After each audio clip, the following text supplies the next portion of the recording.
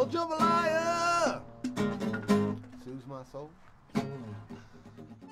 So you're from New Orleans? Yes, I am. Okay, and you you cook jambalaya? Yeah. How do you make it? With the rice. Then I add the onions. You got your Trinity, which is your onion, bell pepper, celery. Oh, I doubled the batch, so um, I put two sticks of butter, of course. Actually, I buy the box. Shrimp. I add the green peppers and the celery. Put some mm-hmm. andouille mm-hmm. sauces. I got to make this really good. So I read a, started reading a lot of John Besh recipes. Oh, chicken. God's extra ingredient. They put it in garlic. We like a lot of garlic. I was raised on it with white beans.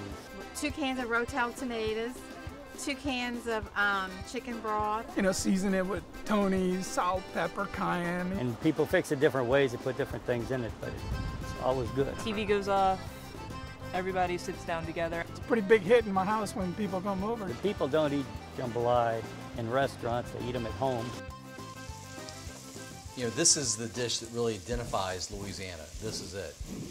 And so this, if I'm going somewhere, I'm, uh, I'm taking my food with me. I'm taking my culture with. It's a commitment. Yeah. You don't, yeah. you don't make this, and this isn't your um, 15 minute or less meal. Right. This is something that takes a commitment, and that's why it's so good.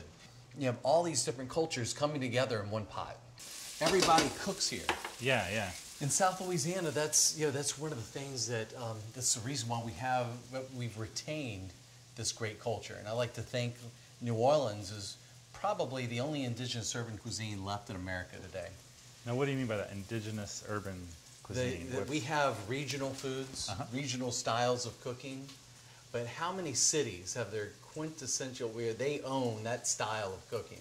You can go in any New Orleans restaurant, open up a menu, and you know exactly where you are. I love traveling. I was born with wanderlust. My parents are, were um, avid travelers, and so for me, getting out there and seeing new and different things just it, it has to happen. That kind of keeps me so going. eating's part of it, right? And Right. eating is is most of it, I'd say.